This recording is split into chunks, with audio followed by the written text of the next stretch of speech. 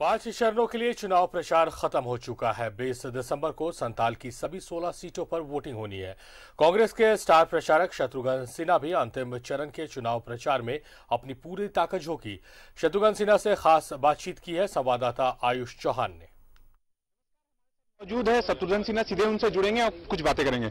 शत्रुघ्न जी आज चुनाव प्रचार थम चुका है। आप लगातार चुनाव प्रचार में रहे हैं। क्या देख रहे हैं? बहुत बढ़िया वातावरण देख रहा हूँ महागठबंधन के। लोगों की बहुत अच्छी जीत देख रहा हूँ, लोगों का बहुत निराशा देख रहा हूँ और आक्रोश देख रहा हूँ सत्ताधारी पार्टी के खिलाफ। और इतने लोग जो इतनी बड़ी बड़ी विशाल रैलीज ये जो आ रही हैं और जिनको मैंने संबोधित किया, करने का सौभाग्य प्राप्त किया अपने ही झारखंड में, वो रैली बहुत कुछ कह रही है। रैली जो है, वो उनकी व्याकुलता उनका जोश उनका एनर्जी इस बात का परिचायक है कि ये परिवर्तन की घड़ी है।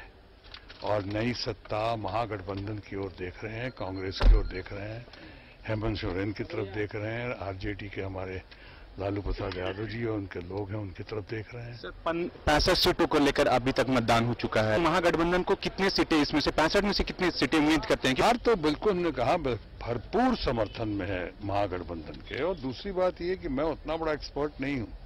मुझसे अगर लोग कहते हैं कि कितनी सीटें आएँगे और पहली बात तो मैं इतना बड़ा एक्सपर्ट नहीं हूँ कि बताऊँ कितनी सीटें आएँगी। और दूसरी बात अब तो उन बातों का कोई लाभ नहीं है। अब तो सिर्फ़ आंकलन बता सकते हैं आप अपना मूड बता सकते हैं मूड ऑफ़ द पीपुल बता तो सकते हैं। है वो तो एकदम साफ़ दिख रहा है। साफ़ दिख रहा है साफ़ दिख रहा है कि जो मुद्दे भटकाने के लिए सरकार जो है एक से एक के बाद एक नई नई बातें नई नई चीज़ें लेकर आ रही हैं।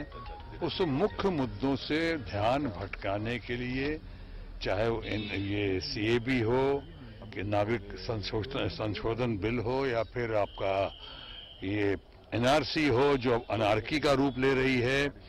प्रधानमंत्री ने विपक्ष पे भ्रमित करने का आरोप लगाया इस पे क्या कहेंगे? नहीं नहीं प्रधानमंत्री तो देखिए अभी इस वक्त लगता है बहुत बौखलाए हुए हैं बहुत बौखलाए हुए हैं बहुत घबराए हुए हैं प्रधानमंत्री जी। तरह तरह की बातें कर रहे हैं। अब लगता है उनके सब मुद्दे खत्म हो गए क्योंकि मुद्दे एक्सपोज हो गए हैं। अब जिस तरह से इसलिए कह रहे हैं, विपक्ष पे भ्रमित करना किया आपने है।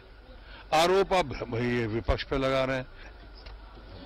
तो ये थे शत्रुघ्न सिन्हा जी, जिन्होंने साफ़ ज़ाहिर किया कि वे जो नागरिकता संशोधन बिल के विरोध में हैं और जो इस विरोध विरोध ज़ाहिर करते हुए उन्होंने ये भी कहा कि इस बिल लाने का सही वक्त नहीं था।